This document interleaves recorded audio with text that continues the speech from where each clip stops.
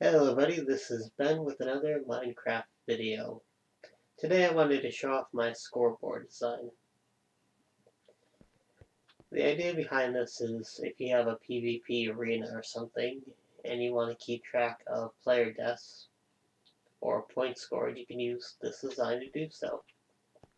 It consists of uh, 10 lamps in a row a series of pressure switches, pressure plates, though you could also use tripwire if you want, a reset lever, and some redstone in the back there. So if I go and uh, kill myself here,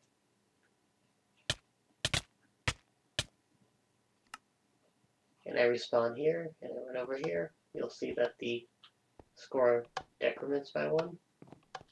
Every time you step on these pressure plates, it goes down by one.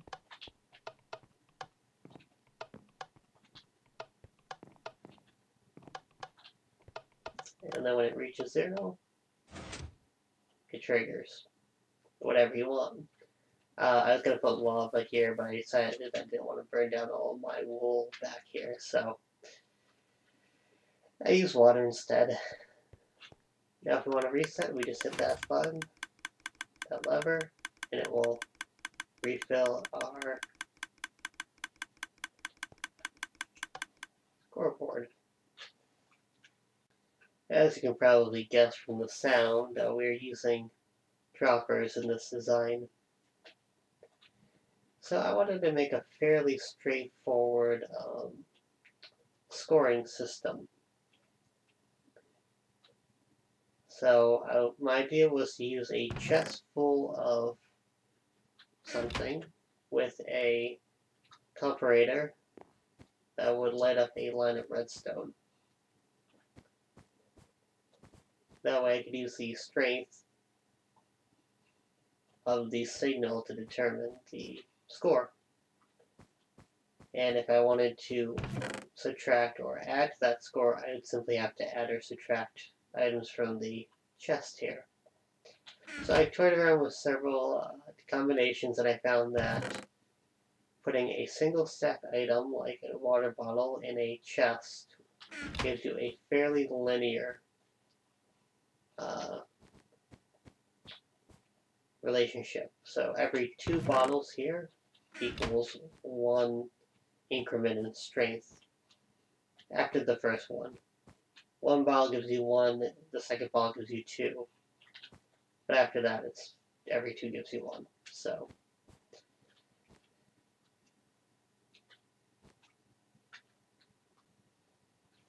So let's build the other team's scoreboard. We're going to want 10 redstone lamps. 1, 2, 3, 4, 5, 6, 7, 8, 9, 10. 10 lamps and you probably want some kind of casing around it.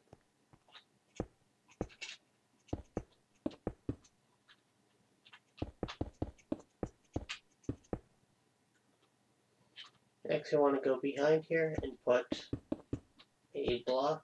Actually, let's just use the same zone. You'll put a block behind each of these lamps.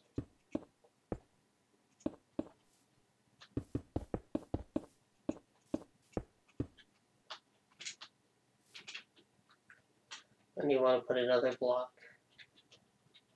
like so and a repeater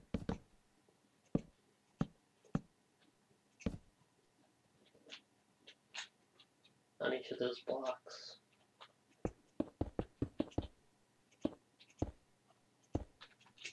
And then we're going to connect it to some redstone.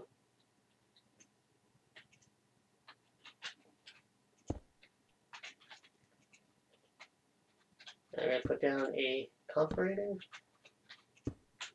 and a chest.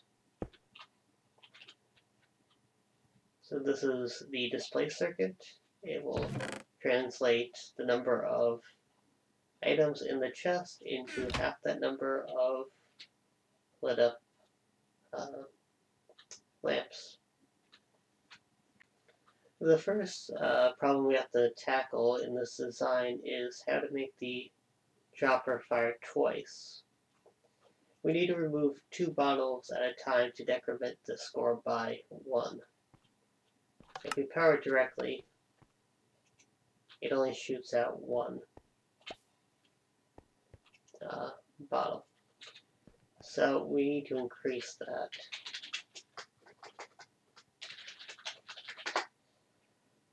To two. Now the easiest way of doing that is simply to, to put a uh, redstone torch under it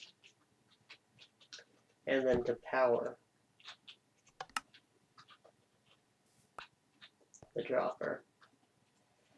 Now droppers and repeaters have a special property that when they're powered they will fire whenever there's a redstone signal or redstone update next to them. So for example, this will fire when I put this down and when I take it off. It will also fire even if the uh, redstone isn't powered, like that's not being powered. Simply removing that redstone causes it to update. So now this will update every time this torch updates, or this will fire every time this torch updates. So when I step on it, it will fire, and then when I uh, when it releases, it will fire. You can see there.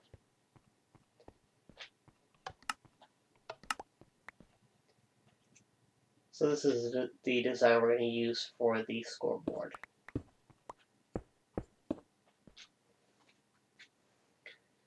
Okay, so we're going to put a dropper behind the chest here and connect it with a hopper.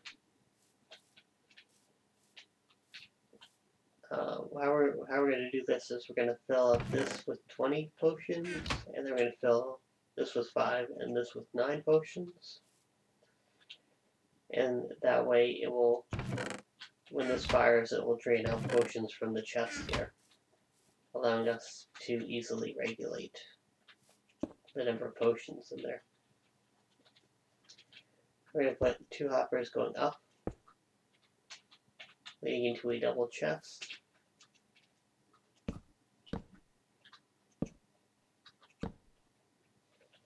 And then in this spot here, we're going to put another hopper. Oop.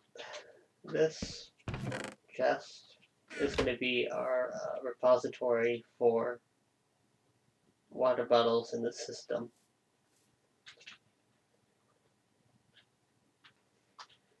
Next we're going to make our firing mechanism to shoot out bottles. To do that we want to put in a block here and a torch.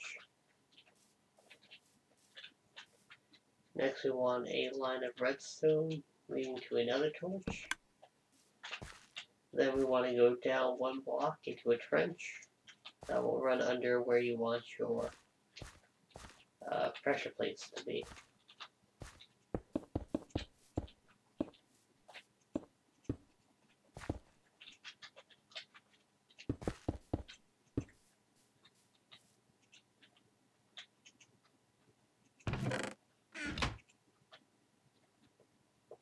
Okay. So we also want to power this.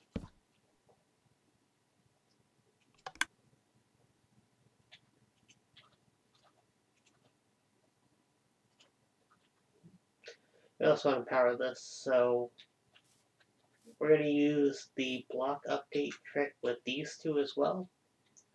So in order to do that, we need to power all three, so it's just easier putting one lever on the center one here. See, we also want to put a block there and a piece of redstone there. So let's test this out. I filled these with uh, water bottles. You can see we have our line of lamps fully lit. I'm going to disable the hopper so that we don't have, so we can see um, the progression of potions. So we don't have anything in the large chest. If we jump on this, that should take two from this and put it in here for us.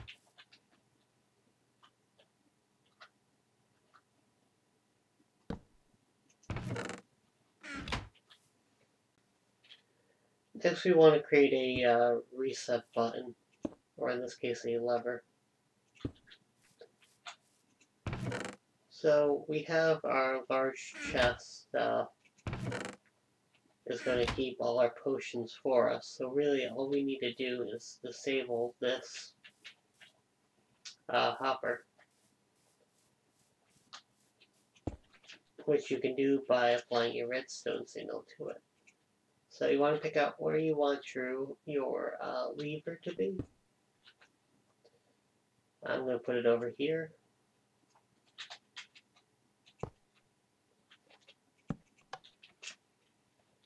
And hook it up.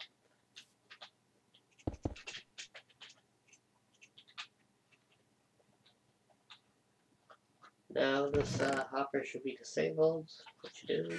Very good.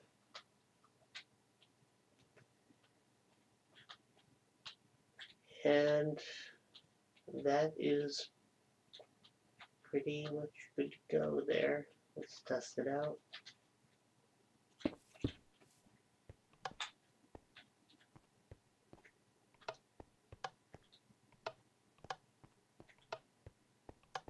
Now this is pretty good. It does get messed up if people walk over the pressure plates rapidly. Sometimes it will distribute three water bottles instead of two. Um, also, of course, two people walk over a pressure plate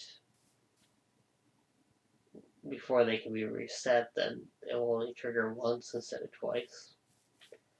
But let's see now, we have all 10, all 20 water bottles in here.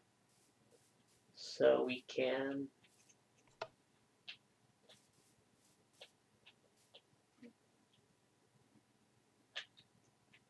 And what I like about this design is it is silent, refilling. Uh, in early, my earlier design there I used the clock, which uh, over here to reset these and not good idea. Too loud. It's too loud.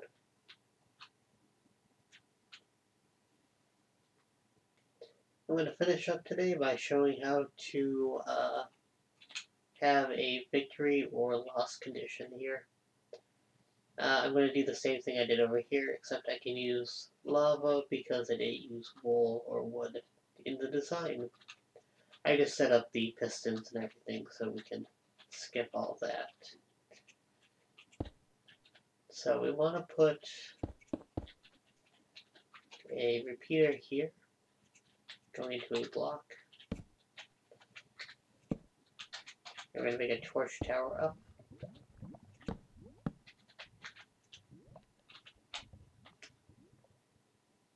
Uh, this. Now depending on whether you want your things to be off or on, you either put a torch here or a uh, redstone dust here. And then you can hook up your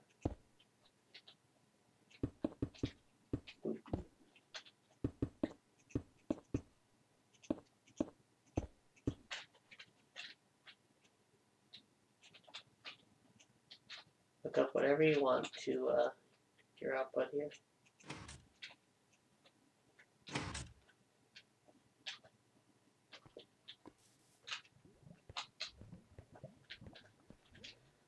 And now this will remain closed until we uh, run out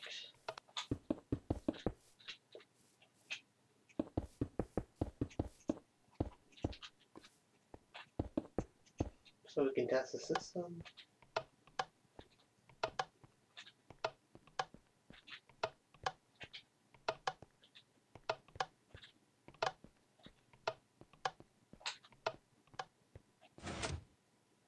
These open up and lava.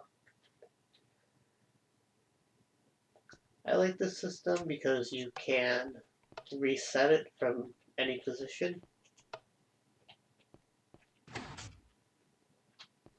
It's pretty straightforward. There's few moving parts.